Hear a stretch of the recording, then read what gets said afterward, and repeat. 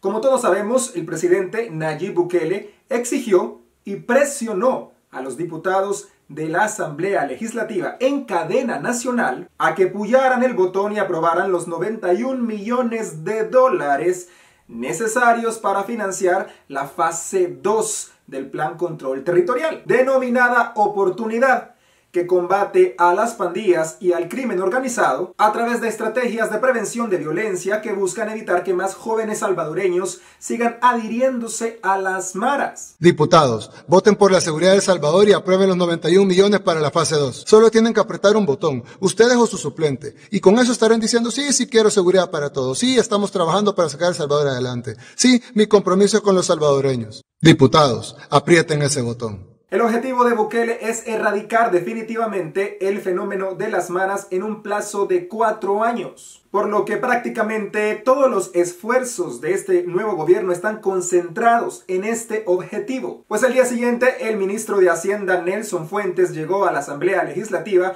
a explicarle a la Comisión de Hacienda de qué manera serían distribuidos los fondos en el Plan Control Territorial. En total, las tres primeras fases de este plan costarán 575 millones de dólares que se obtendrán del Fondo General de préstamos ya aprobados, del impuesto a las telecomunicaciones por la ley de contribución especial y de donaciones internacionales. Estos suman 375 millones de dólares, pero se necesitan 200 millones más para completar el presupuesto global. Estos se obtendrían de la solicitud de un nuevo préstamo al BESIE, del cual se utilizarían los 91 millones para la fase 2. Los famosos 91 millones por el cual el presidente está presionando a los diputados para que puyen el botón. Diputados, aprieten ese botón.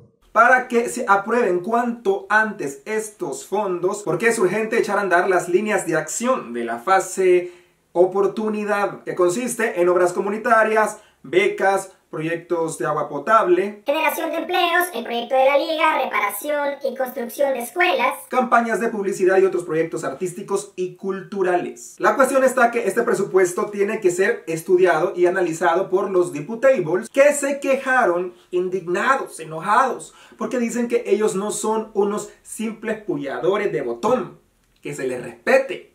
Hágame usted el favor. Así dijo el dipusaurio Rodolfo Parker, que mire, ese señor es igualito a Pedro Picapiedra, by the way. Por lo que lo de dipusaurio le queda, mire, como anillo al dedo, ni mandado a hacer.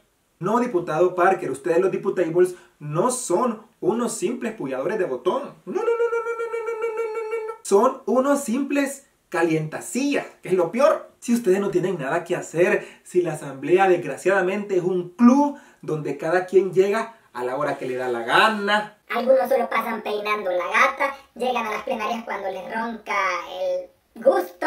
Donde al igual que el gobierno del FMLN tienen metida toda su parentela, ustedes supieran, lo que sé yo, de cuántas plazas fantasmas de familiares que nadie se atreve a denunciar hay en ese nido de ratas. Si los diputados son unos inútiles, unos buenos para nada, que solo llegan a cobrar y no hacen ni miércoles. ¿Qué más prueba que Emilio Corea que tiene tiempo de sobra para estar arreglando gavetas? ¿Qué más prueba que al pelón de Velázquez Parker le queda tiempo para estar eh, haciendo cursitos de karate para las mujeres? ¿Qué más pruebas que el año pasado los diputados harineros en lugar de estar trabajando, devengando, andaban dando vueltas por todo el país de cachiporristas, de calleja, regalando láminas y regalando baratijas. Y por Houston, por Houston le salieron hasta callos en los pies de tanto recorrer los cantones de mi pueblo. Porque terminaron perdiendo, losers. Y ahora resulta que se indignan porque Bukele los trata de puyadores de botón. Agradecidos deberían de estar con el hombre que les encontró una utilidad. Porque para la mayoría de salvadoreños, señores, ustedes son una escoria buena para nada, que no sirve para nada nunca han servido para nada. O dígame, diputado Parker, alguna iniciativa, alguna ley que usted haya propuesto y aprobado en la Asamblea que nos haya beneficiado a todos los salvadoreños. Ninguna, ninguna, porque ustedes desgraciadamente siempre han puyado ese botón para su propia conveniencia. El Salvador les estaría eternamente agradecido y no le gritaran rechifla en, en, las tomas de posesión si durante todos estos años hubieran usado la tutumusta y hubieran apretado ese botón para hacer que los delitos de corrupción nunca prescriban. No han hecho ni miércoles y por eso tanto ladrón queda impune por su culpa. ¿Cuándo a alguien de ustedes se les ha alumbrado la tutumusta, como les digo, para aprobar una ley que beneficia a toda la clase trabajadora. Nunca, hijos del maíz. Así que eso de hacerse los indignados y los enojados porque se les diga puyadores de botón, mm, no les queda payasitos. Por eso yo quiero que los diputados del 2021 eh, propongan y aprueben cosas inteligentes. Que no lleguen solo a peinar la gata o a, darse riata entre ellos, como Pistolita Parker y, el Pachita. Que no pierdan el tiempo y dinero del pueblo en e intentar aprobar leyes pasmadas como la de los troles. O anden perdiendo el tiempo en hacer campañas de disque, feminismo como la Tita Batres y compañía. Que, que mire la Tita Batres qué mujer, esa es más falsa y tóxica que, que, la Yolanda Saldívar con la pobre de la Selena Quintanilla. Pero la cereza del pastel, el colmo de los colmos, fue el tacuacín peinado, Norman Quijano, que le mandó a decir al presidente que ellos ya no usaban botones, que ellos tenían pantallas. Y el presidente lo mandó a huevar diciendo que las pantallas también tienen botones. Pensá, maje. mire, esto francamente nos pasa por tener gente tan viejita, tan senil en la asamblea, que antes, como diría mi abuela, pueden usar el WhatsApp y el Face. Así está el asunto, vamos a ver si los diputables puyan el botón y aprueban los 200 millones del préstamo del BESIE o le ponen más trabas a esta cuestión. Acuérdense de los 32 millones para construir la disque Taqua Towers y ahí no pusieron ninguna traba. Hasta con las pezuñas lo defendió Norman Quijano. Pues sí, como mientras esté seguro él que a la población se la lleve candangas. ¿Por qué me está quitando el nylon?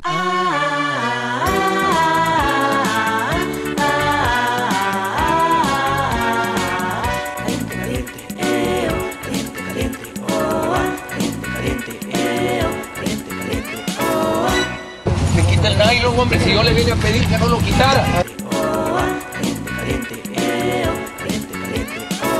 El diputado de Ghana, Francis Sabla, propuso una iniciativa para legalizar el uso medicinal de la marihuana en El Salvador, para aliviar dolores crónicos y también, según su propuesta, generar más réditos a agricultores locales. Además, ayudaría a cortar fuentes de financiamiento de pandilleros o delincuentes. ¿Usted qué opina de esta iniciativa?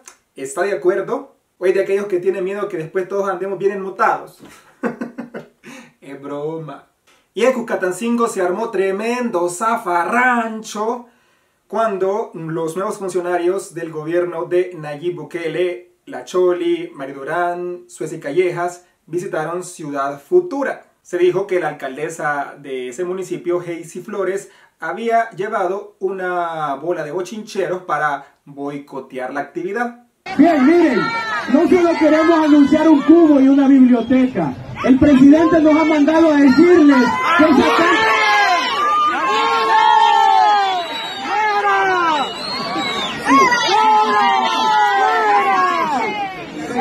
Sí, sí.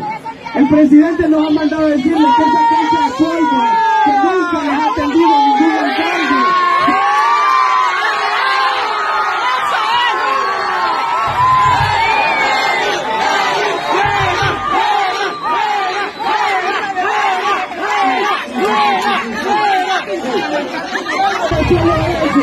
Queremos decirle que tenemos los recursos para arreglar y hacer de nuevo las escuelas. Y vamos a arreglar las escuelas. Vamos a tener que no quieren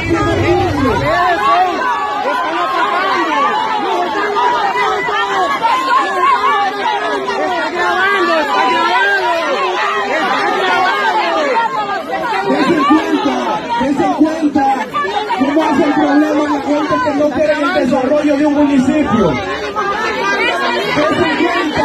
De trabajar para ustedes. Nos están empujando.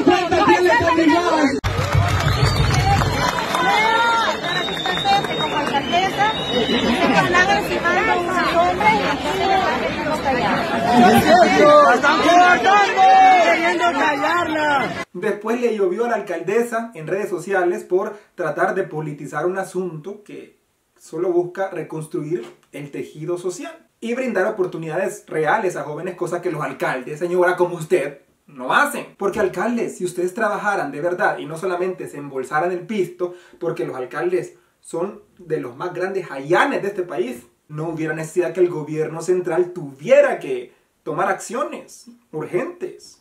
Esta señora lo que hizo fue armar grande chonque porque ya vio que la minita de oro se le acaba en el 2021. Dejen trabajar a la gente que quiere hacer cosas buenas. Francamente, que yo, yo que a mí, yo, yo no entiendo cómo, cómo la gente es tan corta de mente, Dios cuarte. Mucho ayuda el que no estorba, señora alcaldesa.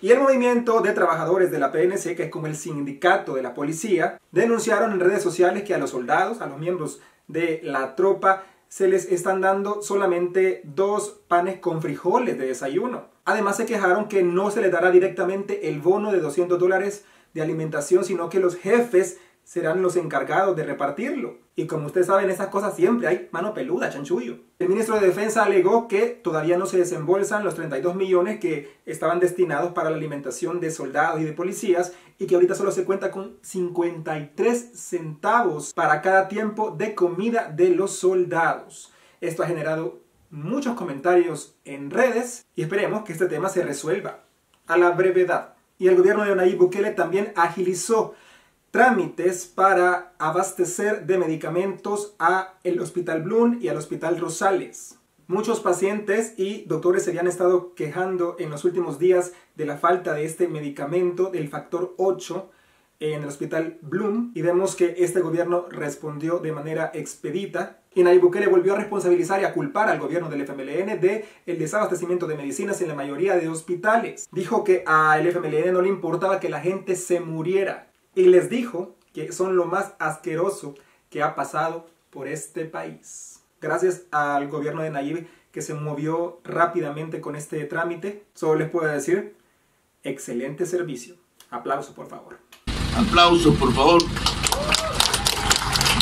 Hasta aquí con esta edición de Nueva Generación. Como siempre te invito a suscribirte a mi canal de YouTube y activar la campanita de notificaciones. Recuerda seguirme en mis redes buscándome como soy José Youtuber, tanto en Facebook, Twitter e Instagram. Puedes colaborar al financiamiento de este canal a través de la plataforma www.patreon.com pleca soy José Youtuber.